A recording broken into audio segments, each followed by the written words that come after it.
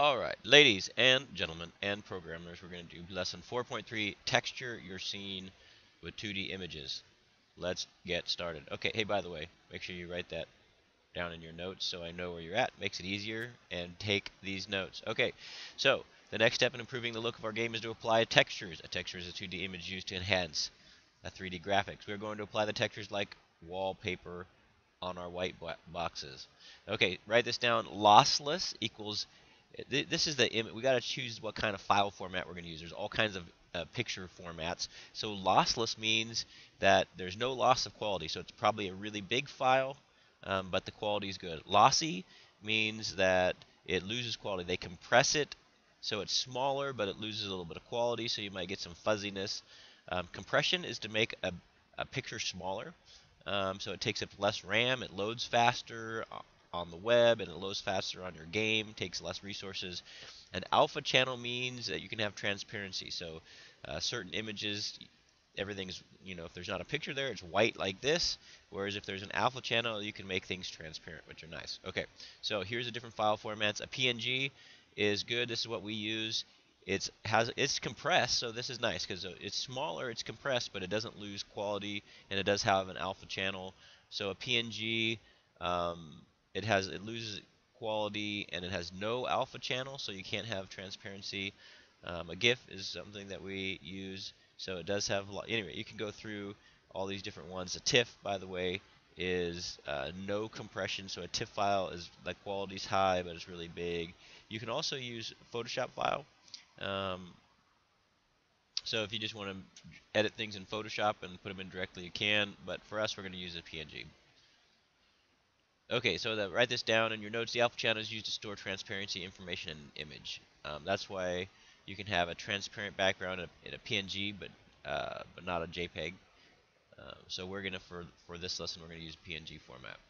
All right, the, Im the images used to texture are usually tileable, so that they are that they can be repeated across a wall or floor.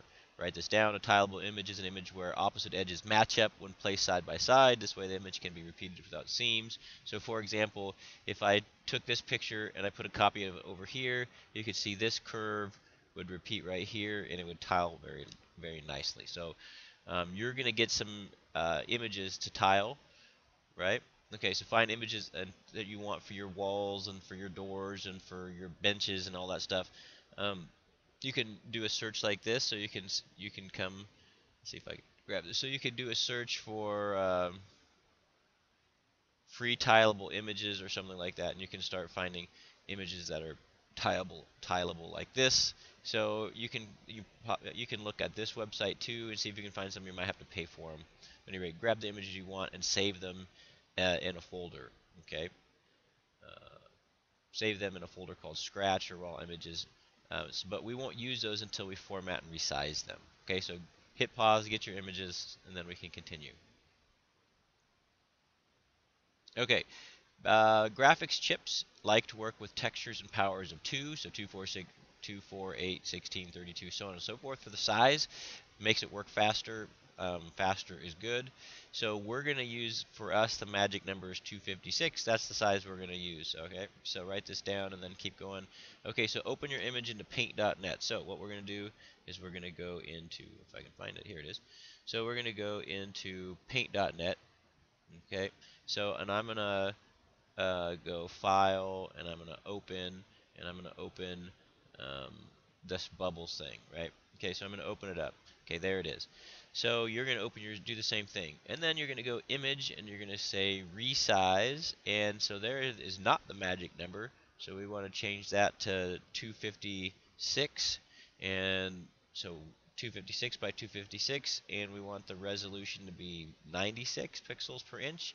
We're going to click OK. So it's going to shrink it down and we're going to save it um, in our that scratch folder. Okay, so we're going to save as, I'm actually just going to do it downloads for now, but um, I'm going to call it bubbles.png. Okay, and there you have it. Okay, and so I also did that with the leaf one too. Okay, so save that, do that with all of your files. Now drag, drag the files from their Unity folder into the project view into Unity. So what I'm saying is go into Unity. You can't see it, it's over here. So we're going to go to Unity, we're going to go into the downloads folder. Okay, and so you're going to go into the materials. Okay, if you don't have this folder, make a materials folder.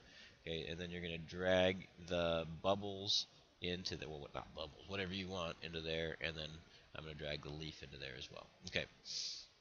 Okay, so now you have these materials available. Make sure they have nice, good names. Okay. Okay.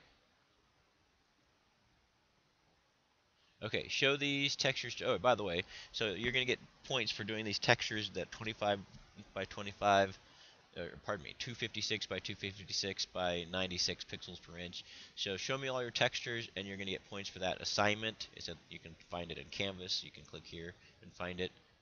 Okay, now here's how you apply images. There's two ways to do it. So we're going to go to up here. We're going to go uh, assets.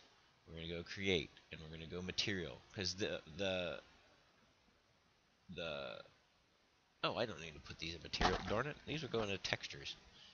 This goes, that's a texture. Bubbles goes down into textures. No?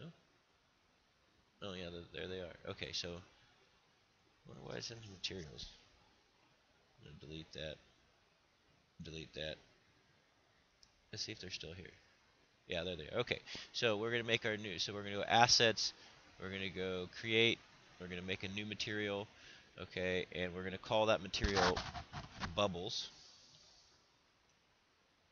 okay so there's bubbles and then I'm going to drag bubbles onto it so you can get you drag it into the albedo okay so there it is and then whatever you want to do you can make it more metallic or less metallic okay you can so you can see it just going over there whatever you want smooth it or whatever okay so there's your so there you have it um, and this should be in this should be in materials. There's your material. Okay, so if we go into materials, there it is. We'll do the same thing with uh, other one. Oh, there's another way to do it, by the way.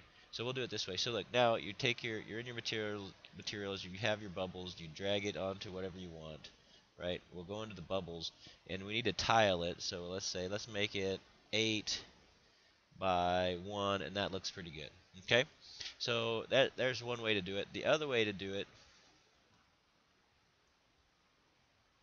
is to drag the material into the object directly. So another way to do it is just go into your textures.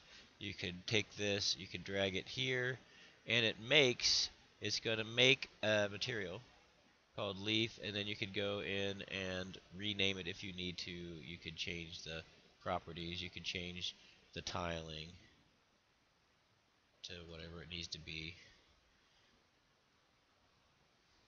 whatever makes it look good. Okay, um, and that's the way to do it. Okay, so go ahead and that's it. We're going to go on to the next one after that.